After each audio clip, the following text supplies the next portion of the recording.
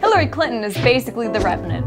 Hillary and Leo have both been trying to win for many years, and they'll do anything to get there. Eating animal organs was basically Leo's Benghazi trial. Donald Trump is basically Mad Max Fury Road.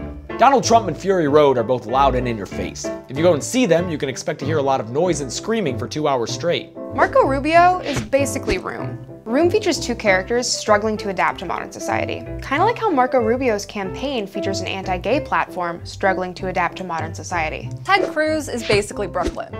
Just like all the characters in Brooklyn, he's very good at telling women what they should be doing. Bernie Sanders is basically the big short. Both Bernie and the big short have a deep hatred for Wall Street bankers and keep hitting the same point over and over for their whole runtime. John Kasich is basically Spotlight. They both have very important things to talk about, but neither one's really bringing any new solutions to issues we've known of for a very long time. Ben Carson is basically the Martian. In The Martian, Matt Damon is a doctor trying to conquer the Red Planet. Ben Carson is a doctor trying to conquer the red states. Jeb Bush was basically Bridge of Spies. Jeb and Bridge of Spies both marketed themselves as high energy and intriguing. Think Jeb exclamation point and Bridge of Spies. But neither of them could live up to the hype of their titles. Hillary and Leo both almost won nearly a decade ago, before getting beaten out by a black guy. Donald Trump and Fury Road are very unconventional candidates who somehow got really popular despite just being a series of ridiculous stunts. Nobody on earth thought Matt Damon's character was alive.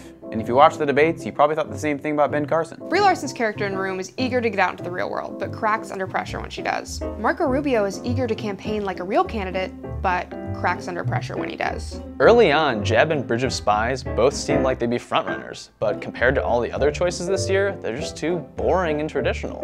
After watching both Bernie and The Big Short, you're gonna call your parents and be like, you have to see this, it's so important but they're probably not going to get past the style and mutter something about a liberal agenda. Ted Cruz and the characters in Brooklyn are both bewildered by New York values. No one's saying Kasich and Spotlight shouldn't win. Normally they'd both be very serious contenders. This year, there's just way more exciting options to choose from. Trump and Immortan Joe both had the same type of followers.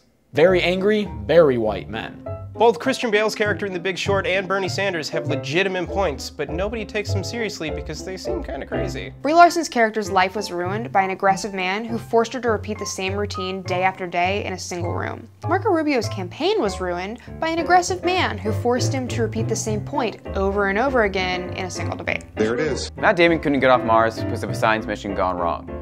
Ben Carson couldn't get on stage because of reasons science can't explain.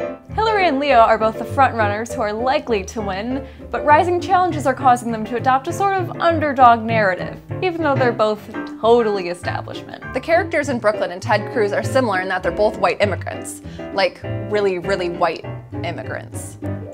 Is Ted white? Jeb and Bridge of Spies were both very safe, conventional choices, created by some established names. Unfortunately, they were also much less exciting than earlier productions from the same people. Even if you hate it when frontrunners win and you want something a little less conventional this year, there's no denying that both Hillary and The Revenant are qualified and top-notch contenders.